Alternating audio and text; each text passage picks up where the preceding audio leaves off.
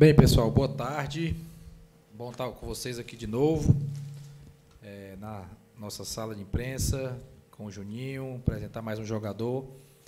É sempre bom quando a gente apresenta o jogador, é sempre uma expectativa positiva.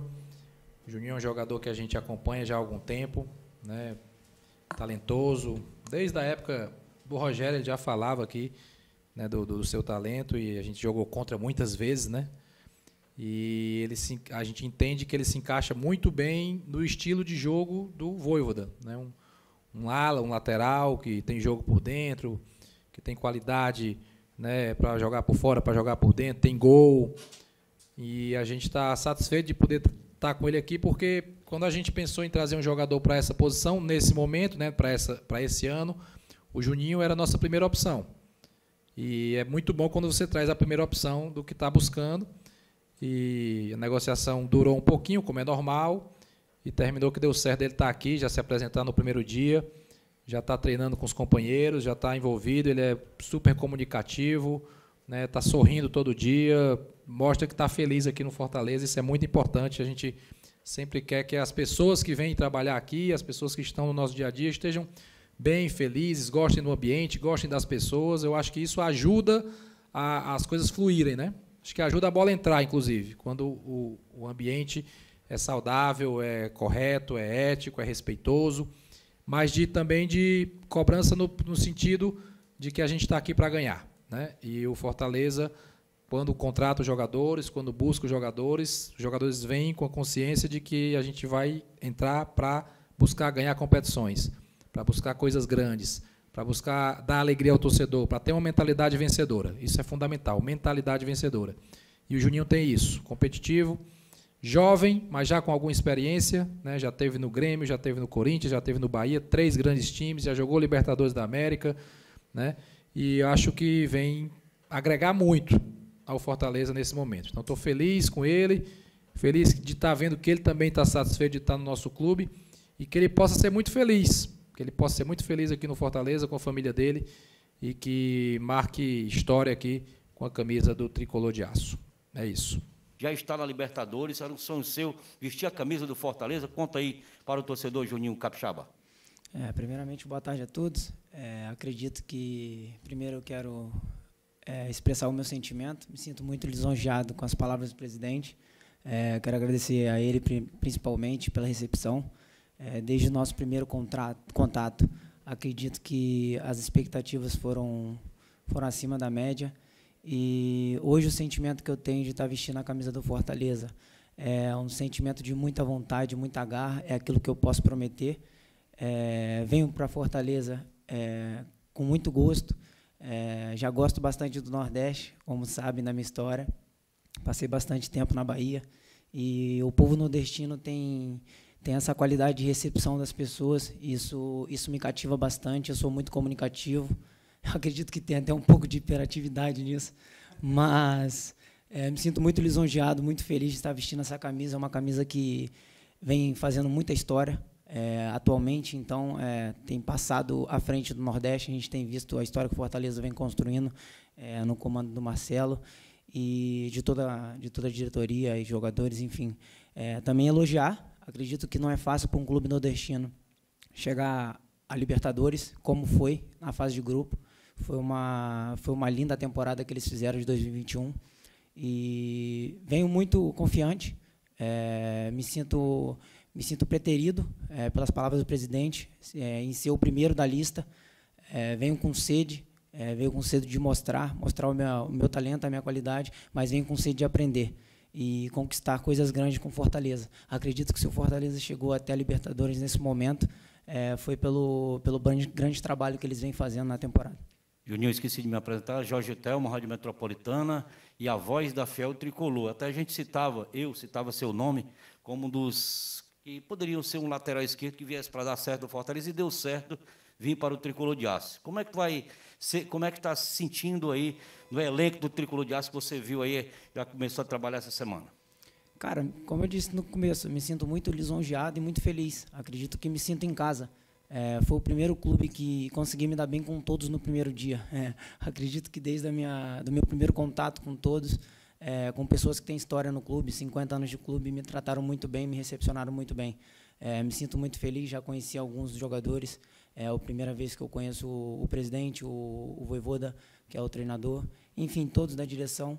É, mas me sinto muito feliz por, por ter sido tão recepcionado, muito bem. Juninho Miguel Júnior, Rádio Povo, CBN e CBN Cariri. Eu já estou muito tempo aqui no clube como setorista. O presidente tem uma memória até boa. Já passaram vários Juninhos por aqui. Me lembro zagueiro Juninho, que jogou ao lado do Preto Costa. Teve um Juninho que chegou aqui, que ele era, ele é pernambucano, mas ganhou o apelido de Juninho Cearense, porque já tinha outro Juninho no elenco de 2002. Por sinal, foi um elenco que subiu Fortaleza para a Série A naquela ocasião. Era Dude, Kel e Juninho Cearense, o meio de campo. Eu acho bonito levar o nome do estado, Juninho Capixaba. Aliás, você nasceu numa bela cidade, na cidade do Rei, Cachoeira de Itapemirim. Como é que surgiu esse apelido de Juninho Capixaba? Pelo mesmo motivo que você acaba de falar. É, eu trabalhava no Bahia e existiam, acho que, se não me engano, dois júniores. Um era chamado de Juninho, que é o Valora, que acabou passando pelo Fortaleza. E naquele momento eu tinha acabado de subir ao profissional. E como eu ia participar de uma partida, é, me perguntaram que nome colocar na camisa. Eu já tinha isso comigo, de levar o nome do meu estado. É, o meu estado é pouco reconhecido no futebol, é, pelo fato de ter pouco investimento, mas acredito que ao longo dos anos pode ser que cresça. É, sai muitos talentos do, do Espírito Santo. E obrigado pelo elogio da cidade. É, eu também me sinto muito feliz em fazer parte da história que é do Rei Roberto Carlos. É um cara que tem bastante história no nosso Brasilzão aí, e internacionalmente também. É, mas foi por esse motivo, por ter outros Juninhos no elenco e me deu esse, me veio esse sentimento de colocar Juninho Capixaba. Juninho, o que pesou para vir para a equipe do Fortaleza? Você, aliás, gosta de camisa tricolor, tirando o Corinthians, Grêmio, Bahia e agora Fortaleza. Acredito que, principalmente, além da parte que eu disse no início de ser preterido, é, do presidente ter me colocado como primeiro na lista, o treinador e toda a equipe Fortaleza, é, acredito que o torcedor. É, eu passei por grandes clubes, com grandes torcidas, é, são torcidas de massa, se não as maiores do Brasil, e o que me cativou foi, inclusive na última partida que a gente teve aqui com o Bahia, em 2021, aquele estádio lotado me, me fez me sentir muito bem e me fez ter vontade de participar da equipe que é o Fortaleza, pela história que tem construído e por ter campeonatos ainda não conquistados, como a Libertadores, como talvez Sul-Americana, que são campeonatos mais importantes. E como eu também na minha carreira não consegui ainda atingir isso, é, espero conseguir atingir com Fortaleza e seguir fazendo uma história aqui nesse clube. Não é uma pergunta, não. Você já cruzou com o Roberto Carlos? Uma vez. Uma vez foi? É. Mas foi lá mesmo? Foi. Foi, bem rápido. Bem rápido, tá certo. Mas eu era menino ainda. Juninho, boa tarde, seja bem-vindo. Anderson Azevedo do Futebolês. É, você chega para uma posição em que ano passado o Fortaleza não tinha um jogador que conseguisse um destaque tão grande, da posição propriamente dito. Quem se destacou foi o Lucas, o Lucas Crispim, que era um meia improvisado na posição e que deu certo. Fortaleza hoje está contratando um lateral esquerdo, está emprestando o Bruno Melo, que é mais um jogador da posição, mas como é que você enxerga essa disputa uh, no Fortaleza desse lado esquerdo? Você que é um atleta de origem da posição e o Crispim, que não é um lateral esquerdo, mas que se ouve muito bem na temporada 2020. É, eu venho para conquistar o meu espaço. Primeiramente, eu quero me adaptar ao clube o mais rápido possível, como faço em todos os lugares que eu, que eu trabalho. É, venho com sede de trabalho, isso, isso, sem sombra de dúvidas, eu tenho que deixar claro. É, o Crispim e todos os outros jogadores que participam pelo lado esquerdo são jogadores de qualidade, a gente viu isso ao decorrer da temporada. É, mas ainda é cedo para falar alguma coisa, mas pode ter certeza que teremos uma competição sadia dentro da equipe. E como o próprio professor falou, é, eu tenho que vir mostrar e buscar o meu espaço dia a dia.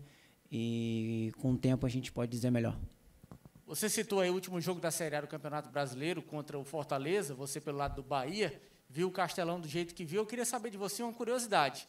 Como é que vocês que estavam do lado de lá viam o Fortaleza? Por exemplo, se falava muito de Voivoda, se falava muito de um time que não tinha condição financeira tão boa ter chegado aonde chegou, porque quer queira, quer não queira, o patamar financeiro do Bahia era um patamar totalmente diferente do que era o patamar do Fortaleza. Hoje o Fortaleza está chegando um pouquinho, ainda não está lá, talvez o rebaixamento do Bahia diminua um pouco essa condição do Bahia, mas como é que vocês enxergavam essa condição do Fortaleza? O que era o Fortaleza para vocês antes dessa sua chegada?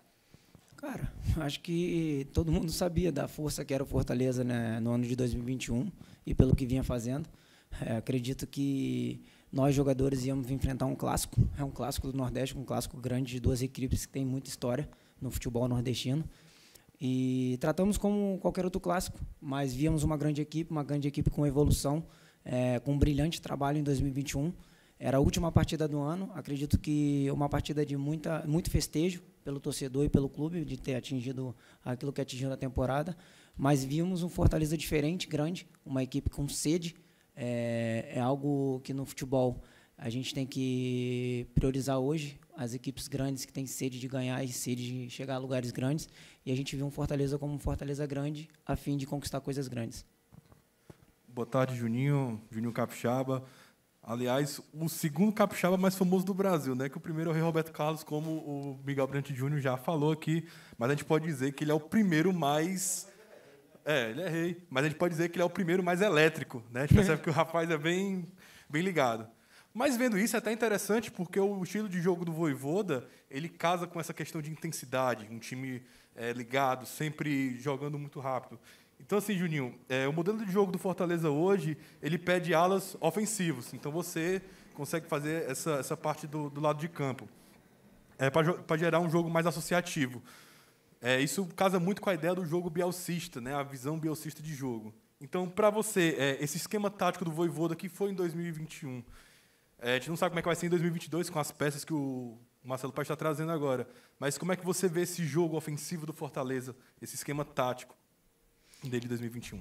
Das duas vezes, ou acho que três, que a gente enfrentou o Fortaleza na temporada passada, é, é, um estilo de jogo muito difícil de ser marcado, é um estilo de jogo muito, muito complexo. É, Para uma equipe jogar dessa forma, requer muito tempo de trabalho, e o que o Voivoda conseguiu fazer no Fortaleza foi brilhante.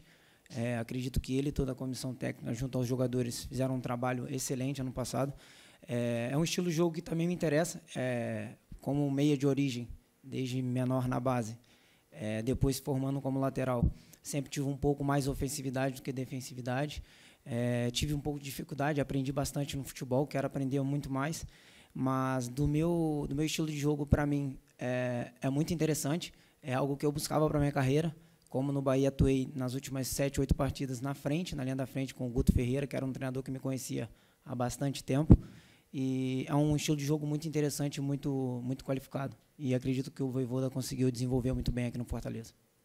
É, do elenco atual do Fortaleza, é, você já atuou com alguns jogadores, já conhece algum? Como é que está seu entrosamento com o pessoal, já que o, o presidente Marcelo Paes falou que você é um rapaz bem comunicativo e a gente percebe isso aqui na nossa entrevista. Ainda não tinha jogado é, de participar de partidas é, oficiais. Acredito que eu trabalhei com o David na base do Vitória, é, numa breve passagem. E o Tite, eu acabei, estava me formando ainda quando menino. É, eu fiz alguns treinos no profissional e acabei trabalhando, mas não algo muito longo assim. Juninho, você estava falando. Boa tarde, seja bem-vindo. Lucas Catribe, Clube Esporte. Você estava falando sobre a sua passagem, né, experiência por outros clubes, grandes clubes do futebol brasileiro. É, e eu lembro bem que quando você surgiu no Bahia, ainda com 19, 20 anos por ali, né? Acabou sendo vendido para o Corinthians. Lá você não teve tantas oportunidades, depois acabou indo para o Grêmio. E aí tendo essa sequência. O que que mudou nessa curta trajetória até aqui, né? Você está com 24, não é isso? É, o que que você acha que conseguiu evoluir do seu jogo, até da mentalidade, e, e, você sempre foi esse cara também comunicativo, assim, desde, desde jovem? É, desde jovem eu acredito que que tenho eu acredito que as pessoas elas nascem de uma forma. E a minha família sempre disse que eu era um menino imperativo que sempre fui meio muito comunicativo. Mas eu gosto de pessoas eu gosto de estar com pessoas. É, acredito que atualmente, fugindo um pouco da tua pergunta, é o momento que a gente vive no país é um momento que a gente tem que haver um pouco de distanciamento, mas eu sempre gostei de pessoas, de estar com pessoas, de aprender, porque te faz formar como ser humano, principalmente. Você aprende algo que você não tem como desenvolver sozinho, é algo que o Marcelo possa ter que eu não tenho, ele vai me ensinar e algo que eu possa ter e que ele não tem eu também posso ensinar para ele. Então, é, isso é muito importante. É, acredito que nessa pequena trajetória de lá para cá, eu aprendi bastante. É, eu tenho vontade de aprender. Isso eu acredito que todo ser humano tem que ter dentro de si. Um ser humano não pode se acomodar. Então eu tenho muita vontade de aprender e o que me fez diferente lá aqui nessa pequena trajetória foi isso. Fortaleza tem pela frente importantes competições, né? Ano passado foi um ano até fora da curva, um ano excepcional, talvez o melhor ano da história do Fortaleza, ficou entre os quatro primeiros do Campeonato Brasileiro e agora tem a Libertadores América. Claro que tem várias competições, tem Cearense, tem Copa do Nordeste, mas o torcedor pensa já na Libertadores assim. Os teus objetivos, pensando no aspecto coletivo, assim, você acredita que o Fortaleza pode chegar aonde nessa temporada 2022? Cara, a, a, é, acredito que todo mundo já viu o que Fortaleza fez em 2021. É, dá para se esperar grandes coisas. É muito cedo para falar, como eu acabei dizendo. Então, são muitas competições. Isso requer trabalho, isso requer concentração, isso requer confiança. E a gente tem que, o mais rápido possível, se entrosar para que aconteça o que aconteceu em 2021. É uma equipe que talvez era cogitada a brigar por rebaixamento, claro, respeitando Fortaleza, é o que todos lá fora diziam. E não só como Fortaleza, como todas as outras equipes do Nordeste, que tem poucas expressões fora do Nordeste. E isso eu acho um pouco errado do futebol brasileiro. A gente tem que respeitar todo mundo conforme uma equipe, conforme uma instituição. E quando se entra dentro de campo, não entra investimento, não entra é, títulos, não entra história, não entra nada, mas sim uma camisa. Então, deve se respeitar. Então, o Fortaleza tem condições de chegar a grandes, a grandes finais esse ano e é o que a gente tem que trabalhar aqui para conquistar em 2022. Ok, finalizamos. Pode.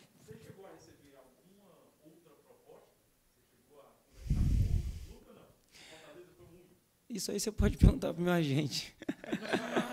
Mas eu priorizei o Fortaleza pelo, como eu disse desde o início, por ser preterido, por ser o primeiro da lista e, enfim, pelo primeiro contato com o Marcelo.